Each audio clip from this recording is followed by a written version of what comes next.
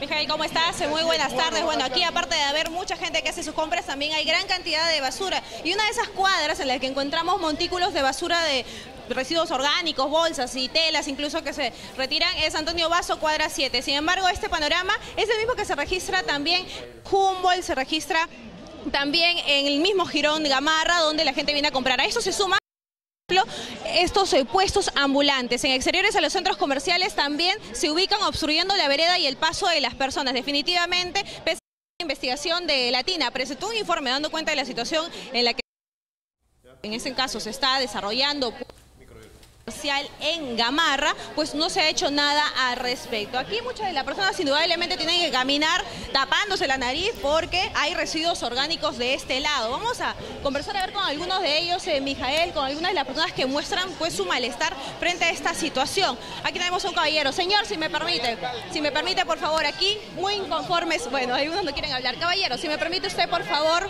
están muy inconformes por este problema de la basura, señor varias cuadras. ¿Cuál es, el problema de la basura? Claro, que no está, no está el alcalde, no hay nada. Todo está así, mira, abandonado. Y estamos a puerta de Navidad, no hay nada. ¿Dónde está el alcalde? No son los únicos girones. Todo, está una basura, un montón de cosas. Un montón de basura.